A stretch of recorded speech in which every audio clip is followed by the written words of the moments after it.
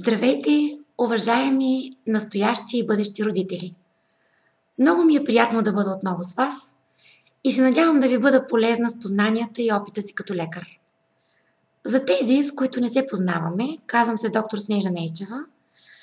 Общо практикуваш лекар съм, имам специалност обща медицина и това ми дава възможност да работя и с деца.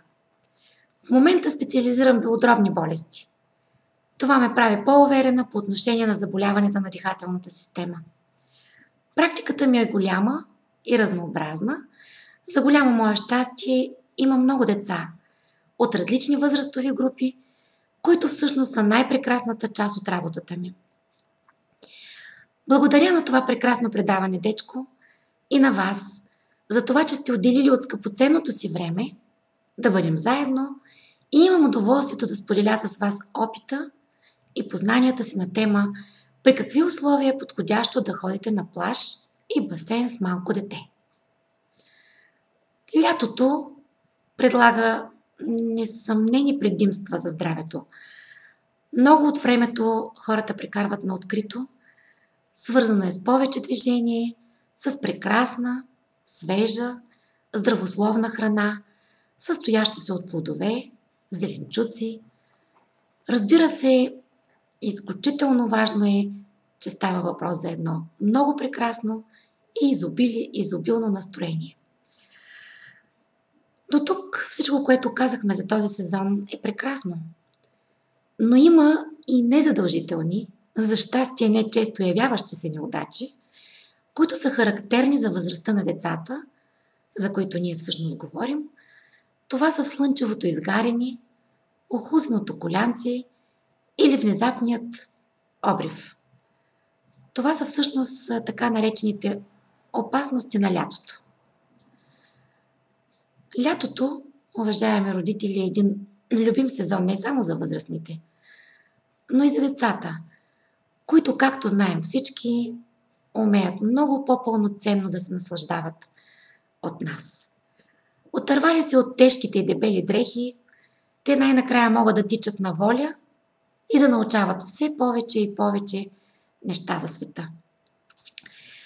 Понякога те дори могат да се отърват и от обувките си, да тичат боси по тревата и градината, по пясъка на плажа.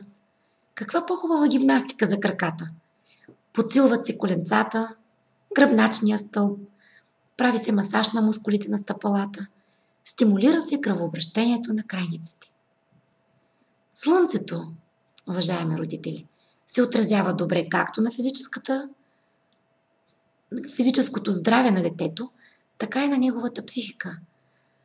Слънцето, всички знаем, стимулира хормона на щастието – серотонин, както и производството на витамин D, който се грижи за освояването на калция и за здравината на костите на хората.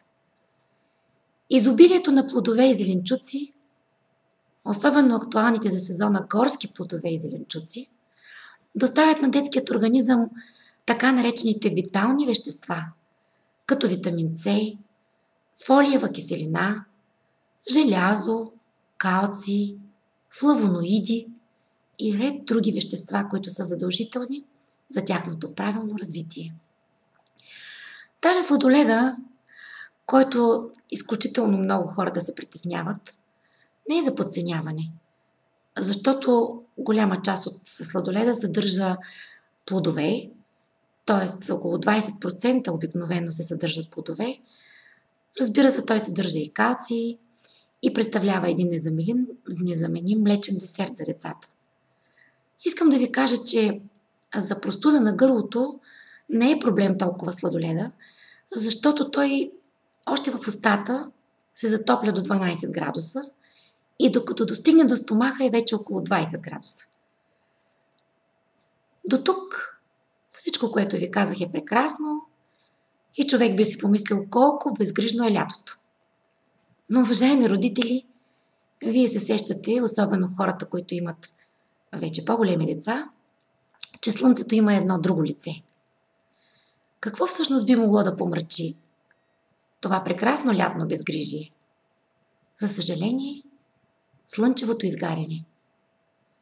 И през последните години това се случва все по-често. От години се знае, че активното излагане на слънце на кожата в детска възраст е сред основните рискови фактори за развитието на рак на кожата при възрастните хора. Липсата на достатъчно информация по този въпрос, недооценяване значимостта на проблема, ни потикна да го поговорим в тази тема на Дечко.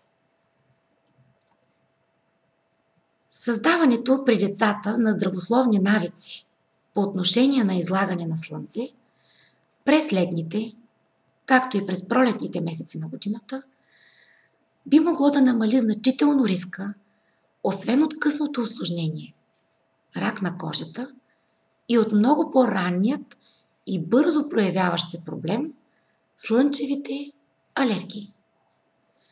Специалистите в тази област на медицината изготвят вече програми за здравословно поведение на децата по отношение на излагането на слънце и съветват хората да се консултират с съответни специалисти, ако забележат развитието на бенки, на лунички и други пигментни нарушения, свързани с слънцето. Дори се съветват родителите да се обръщат към тях и да се изработват индивидуални програми за предпазване чрез слънцезащитни продукти и средства, каквито са, например, очелата, шапките, подходящо облекло, особено за някои категории деца, които имат изключително голяма чувствителност. Това, уважаеми родители, напоследък все повече хора интересува. Всичко това е така, защото кожата на малките деца и бебетата е все още толкова тънка, че лъчите могат безпрепятствено да преминат през нея. Бебешката кожа все още няма изградена бариера. Тя много лесно се дехидратира, както и инфектира. Специалистите дори настояват толкова малки деца въобще да не бъдат излагани на пряка слънчева светлина, а след като поотраснат, да започнат постепенно да привикват към нея. Първият въпрос, който се задават родителите,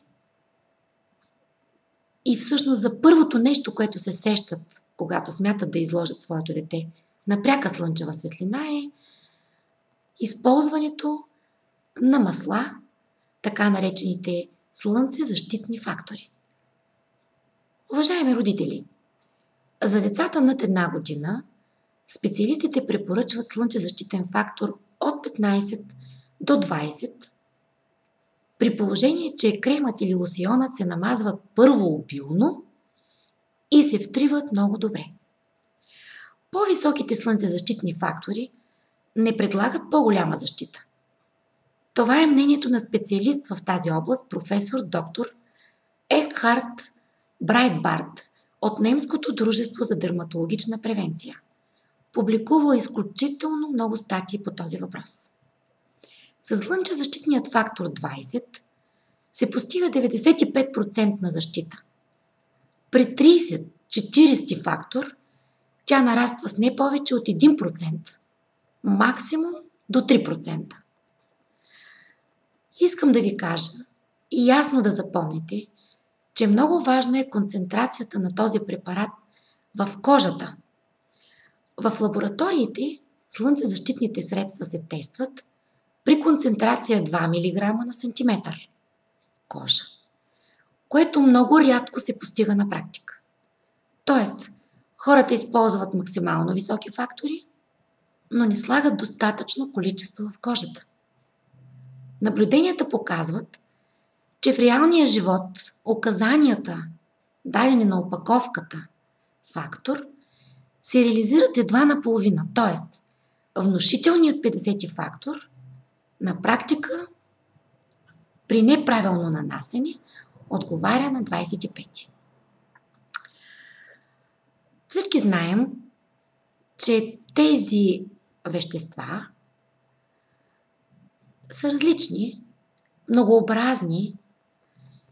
Искам ясно да ви кажа, че идеалното слънцезащитно средство за деца би трябвало да осигурява широкоспектърна защита срещу ултравиолетовите лъчи А, както и срещу ултравиолетовите лъчи Б. Това идеално слънцезащитно средство, освен че трябва да има толкова широкоспектърна защита, то не би трябвало да съдържа отсветители, парфюмиращи вещества, както и консерванти. Много важно условие е да е водоустойчиво и да е фотостабилно, т.е. да не се променя под влияние на светлината. Искам да уточня две понятия. Това е средна и висока слънчева защита. В Европейския съюз съществува препоръка защитните категории да бъдат преразгледани. Така или иначе обаче, все още са валидни следните категории. На базисна защита отговаря защитен фактор от 6 до 10. На средна, средно висока защита отговарят факторите 15, 20 и 25. И висока защита са факторите 30 и 50. Съществува и термина много висока защита. Това са факторите над 50. Ако все пак човек прецени, че неговото двумесечно бебе има нужда и трябва да бъде заведено на плаж, първо ще се зададе въпроса дали бих могла, могъл да използвам слънцезащитен крем за толкова малко дете. Веднага искам да ви отговоря ясно и категорично. Не. Толкова малко дете е най-добре да се държи на сянка. Защото независимо от използването на каквито и да е фактори, вредните увелъчи могат да проникнат и там, затова не бива да се държи голо детето, дори и при много горещо време, дори то да бъде защитено с най-високият фактор, дори да бъде с най-подходящите дрехи, детенцето трябва да бъде у дома. Какво родителите правят? Най-често неправилно при слънчева защита. Според същия този професор Брайтхарт, специалист по отношение на слънцезащитната профилактика от децата Германия, родителите трябва да обърнат внимание най-вече на следните три неща. Първо, децата много често са навън по обяд, когато слънцето е най-силно, тъй като се подценяват опасностите от силното ултравиолетово лъчение на слънцето. Второ, родителите забравят за допълнителната защита на детето. Това е облеклото старайки се да закаляват своето дете, най-често то е почти голо. Трето, те нерядко надценяват слънцезащитните средства. Може би много от вас не са обръщали внимание, че на опаковките на някои слънцезащитни средства пише, че те съдържат химически или минерални вещества. Слънчезащитните средства с минерални филтри са най-подходящи за децата.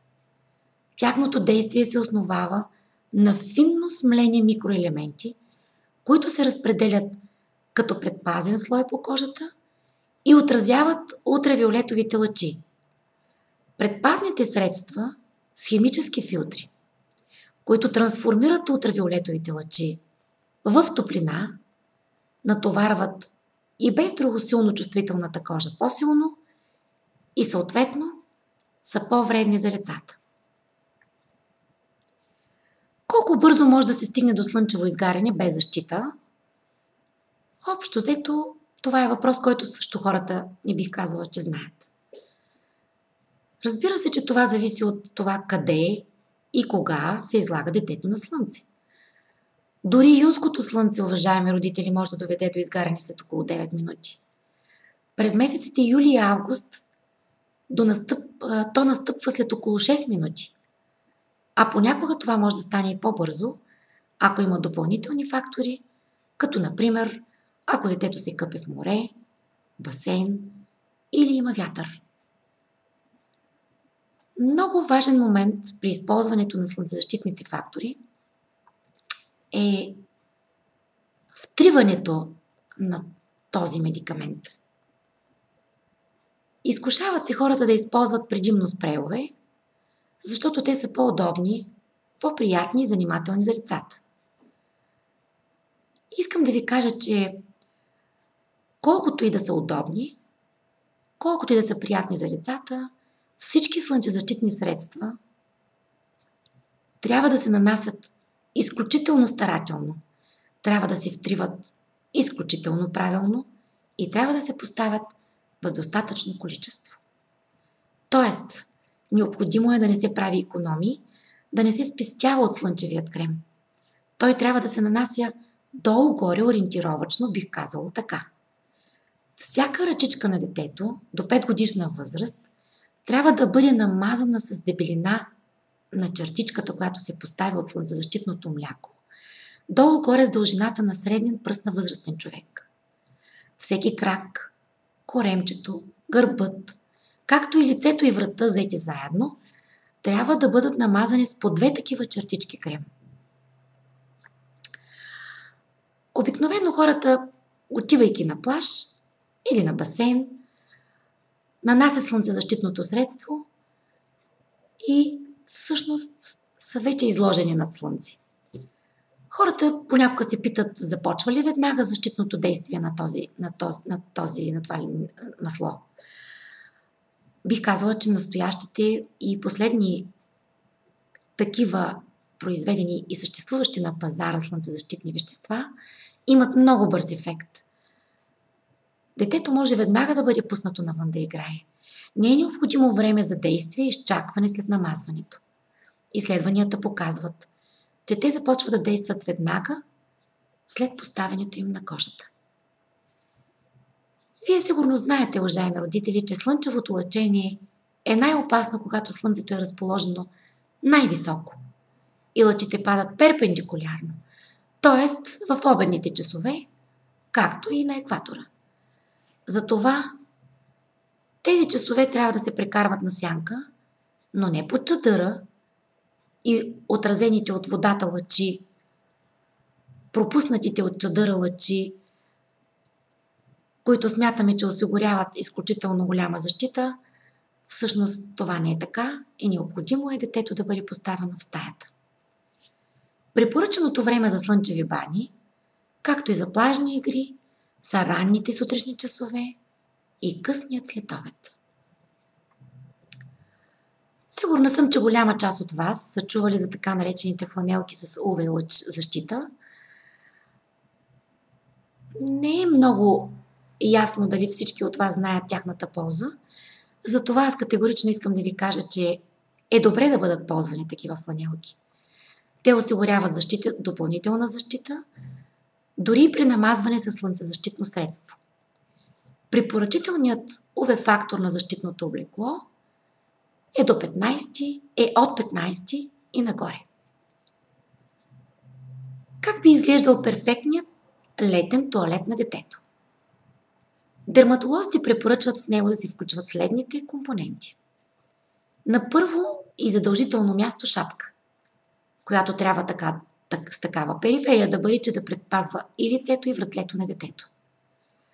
На второ място тези фланелки, за които съобщих, с UV защита – чието ръкавки стигат поне до лактите.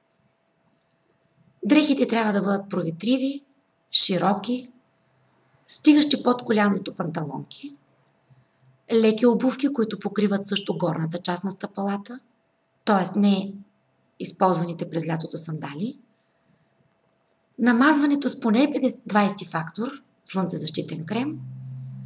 Експертите съветват след измиване на 60% от препоръченото, минава, след преминаване на 60% от препоръченото време, да се поднови намазването, както и след всяко къпане и обилно потене, което може да намали или премахне предпазния слой. Да не забравяме, уважаеми родители, че времето през лятото, освен че е много горещо, то може да бъде често и много важно. Добре е децата да бъдат навън до 11 часа и след 15 часа. Никога по обяд. Не искам да пропусна да спомена какво мислят експертите по отношение на очилата при децата. Необходимо е децата да носят очила. Те са задължително предпазно средство, така предпазваме ретината. Най-добрият градус на тониране на очилата е между 65% и 75%, но те трябва да бъдат със сигурна увезащита, а не да се използват единствено като аксесуар. Очилата менте, както знаете, могат да нанесат много по-големи щети, отколкото ако не се използват никакви очила. На децата обикновено в началото им е малко непривично да използват очила, но те не само, че бързо свикват с тях, но и почват да ги носят с лекота и удоволствие. Искам не на последно място да спомена и другият основен проблем на лятото и излагането на децата на слънце – обривите. Те не са съвсем чести, бих казала не толкова чести като изгарянията като проблем, но също са много важни. И вие, уважаеми родители, винаги трябва да мислите по този въпрос. Те най-често се дължат не, са, не само на слънцето, но и на самата топлина. Появяват се основно по вратлето, в областта на памперса на децата, по лицето и макар да не са опасни, те са, за съжаление, сърбящи и създават изключителен дискомфорт на малкото дете. Често пъти през лятото, навън, освен че е топло и е влажно и подобно на възрастните хора, децата започват да се потят. Ако кожата не се проветрява достатъчно, порите се запушват и настъпват обриви, най-често от ситни, сърбящи пъпчици, както по цялото тяло, особено по гънките, подмишниците, в сгъвките на ръцете и краката, зад колените ямки, особено под и около памперсите на бебетата. Как изглеждат тези пъпчици? Понякога дори съм имала случаи, в които родителите се притесняват и се съмняват за шарка и идват твърди обезпокоения на преглед. Едните пъпчици наподобяват капчици под. Те са с големина на главичка на кърфица, светли, водни мехурчета и в този си вид те се наричат милиария, кристалина и не предизвикват никакви оплаквания от детето. Другите са така наречените милиария рубра, които приличат на червени прищици. Те парят и много сърбят. И двата вида обрив си отиват толкова бързо, както са дошли. Ако човек обаче вземе мерки, той си измие кожата на детето и го остави без излагане на слънце за поне 12 часа. Ако обрива обаче се задържи повече от 12 часа, е необходимо да бъде детето консултирано с личния си лекар или съответен специалист. Най-важното нещо е да бъде от диференциран обрива – алергичният обрив и топлинният обрив –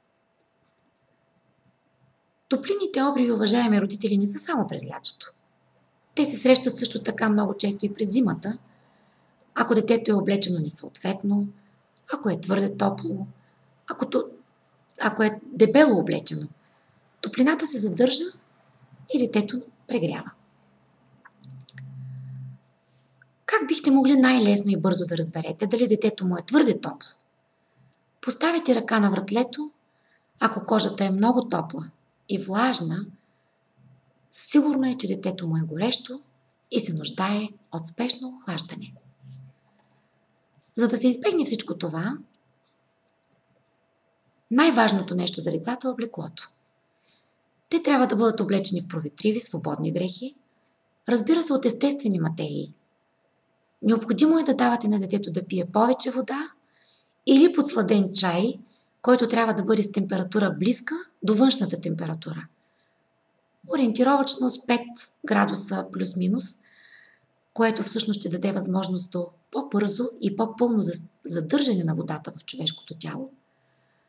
Ако все пак се случи детето ви да има такъв обрив, Първото и основно нещо, което трябва да направите е да измиете сърбящата кожа с не много топла водичка, да подсушите с леко потупване кожата, без много сериозно втриване.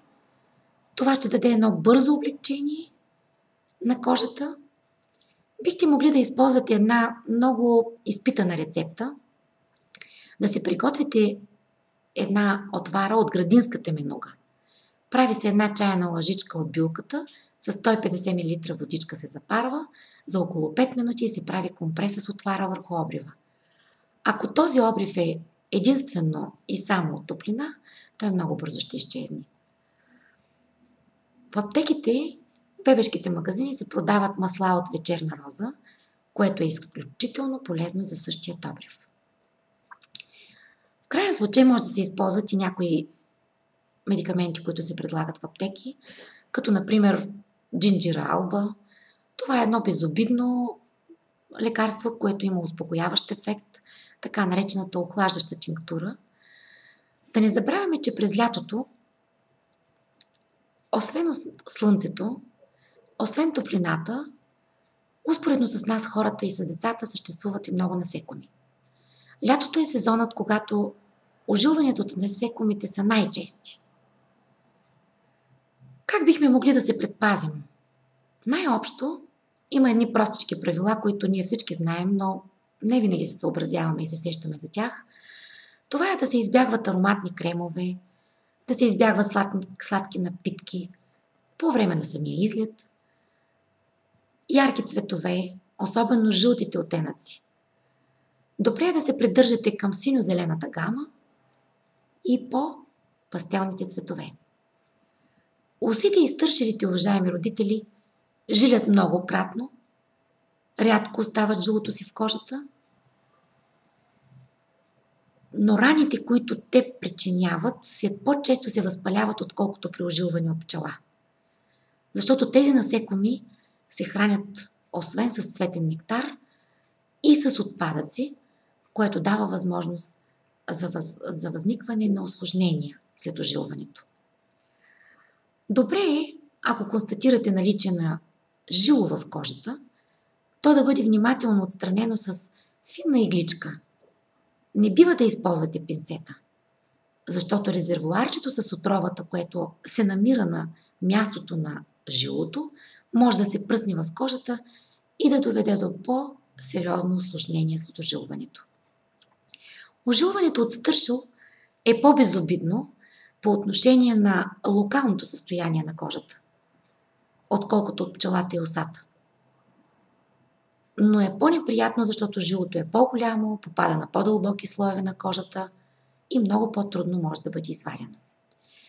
След ожилването мястото се зачервява, почти винаги, независимо от какво насекомо е то, подува се. Опасностите при малките деца идват от разчестване на това място, защото те не могат да го пазят, независимо колко им се обяснява и как се пазят. Самото разчестване дава възможност обрива да стане по-голям, възможности за попадане на бактерии и инфектиране. Всичко това може понякога да наложи употреба на антибиотични кремове. Разбира се, за употребата им е необходимо задължителна консултация с дерматолог или алерголог. За да се по-спокойни, за всичко това е необходимо да носите един комплект за първа помощ. Желателно е вашата хладилна чанта да не се пропуска наличието на лед, което е задължително и първо условие след настъпване на такъв проблем – ожилване от насекоме. Леда, уважаеми родители, свива кръвоносните съдове и по този начин намалява възможностите от разпространението на ефектите на този дразнител, отровата на съответното насекомо. Второто задължително нещо е да имате в своята чанта за първа помощ вещество, лекарство, което да намали сърбежа.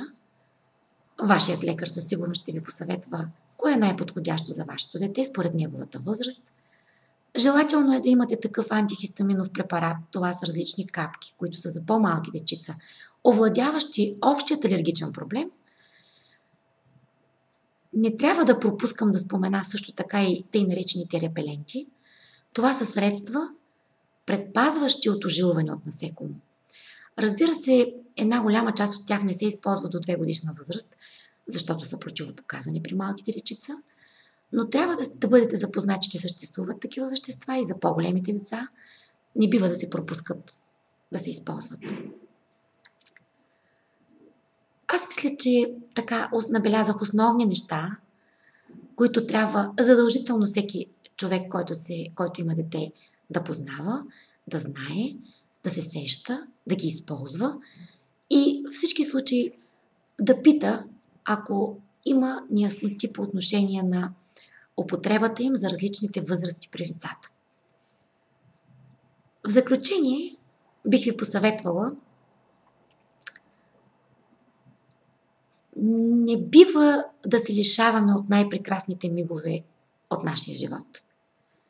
Това е времето, което ние прикарваме сред природата, с прекрасните си деца, по-скоро да се съобразяваме, да се стараем да спазваме основните изисквания и препоръки, някои от които аз изключително с голямо желание набелязах с моята, моята презентация, както и много други, които не успях да изчерпя в нашата среща. Така ще се насладим на нашите мигове, прекрасни мигове в живота и в същото време ще предпазим децата си от ненужни здравословни проблеми. Всички знаем, че нашето най-голямо богатство са нашите деца и тяхното здраве. С това прекрасно пожелание за здраве, щастливи мигове с децата ви се разделяме. За мен ще бъде удоволствие, ако съм успяла да ви помогна в отговорите на най-голямата част от въпросите, които всеки от вас се задава в ежедневието, свързани с здравето на децата. Вашето и нашето най-голямо богатство. Бъдете здрави и много щастливи!